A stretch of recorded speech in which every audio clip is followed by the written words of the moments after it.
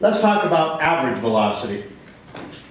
If I tell you that at 5 o'clock I left home, at 6 p.m. I'm 60 miles away from home, how fast am I going at 5.30? How fast? Huh?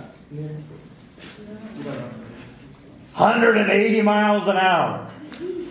Except for those of you that have seen my car, you said, no, Greg, you weren't going 180 miles an hour. But clearly, I could be stopped at a, at a stoplight. I could be parked someplace eating donuts, which seems more likely. Okay? Um, all we know is that in 60 minutes, I was able to cover 60 miles. What we know is that my average velocity during that hour was 60 miles an hour. Okay? Now, the operational definition for average velocity looks like the general definition for velocity, but with the caveat that delta t can be large, large enough that you can speed up, slow down, stop for a stop sign. Okay? It's just the total distance divided by the total time. This is the kind of velocity you want to use when you're trying to figure out how long it's going to take to Denver, uh, to get to Denver. You don't want your fastest speed or your slowest speed. You want your average speed. Okay? Now, I like to think of average velocity in terms of this Aesop's fable. You remember the story where the, the turtle and the, and the bunny rabbit are having a race. The bunny rabbit's so much faster, gets way out in the lead, decides to take a nap. Uh, when the bunny wakes up, she sees that the turtle is just about to cross the finish line, so she speeds across and they have a photo finish. What that means is that the average velocity of the bunny rabbit is the same as the uniform velocity of the tortoise. They both start and finish the race at the same time. They both cover the same displacement in the same amount of time.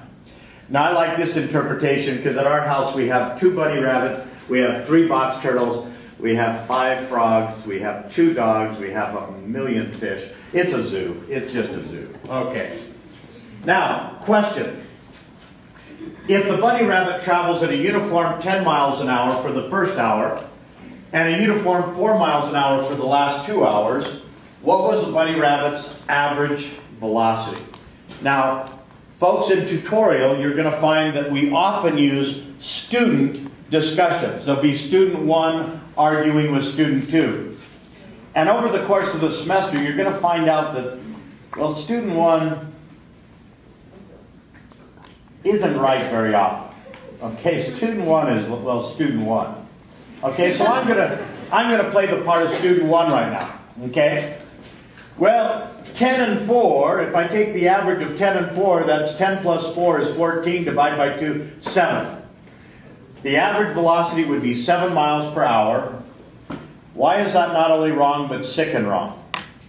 Because you didn't take into account the amount of time.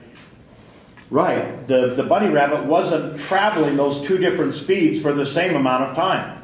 And so what we have to use is the operational definition. The average velocity is going to be the change in position. If you're just going to the right or to the left, we use delta x. If you're just going up or down, we use delta 1. Okay? It's the total displacement divided by the total uh, total time. Now the total displacement uh, the bunny rabbit covers 10 miles in the first hour and 4 miles in the second hour plus 4 miles in the third hour and does that in 3 hours. So that's going to be 18 miles in 3 hours or 6 miles per hour. Okay, check that your neighbor's on the bus with that. It's not rocket science. We're going to do that in a month.